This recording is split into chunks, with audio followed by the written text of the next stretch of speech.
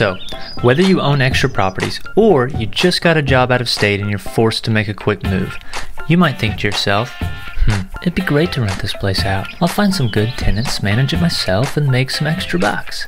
Sarah will love that. Well, hold that thought for a sec.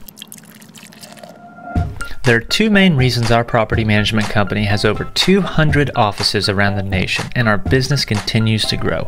One, because renting property is smart, and two, it takes way more work than you think.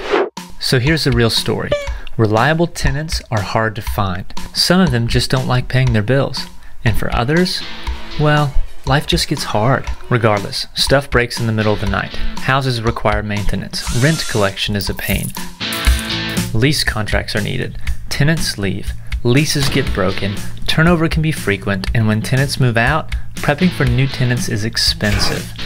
And dealing with an eviction yourself is the worst. But partnering with Real Property Management is easy. We find you reliable tenants. We conduct thorough background and credit checks. We show the property, lease the property, perform maintenance on the property, and when the tenant has a problem in the middle of the night, they call us and don't have to hassle you.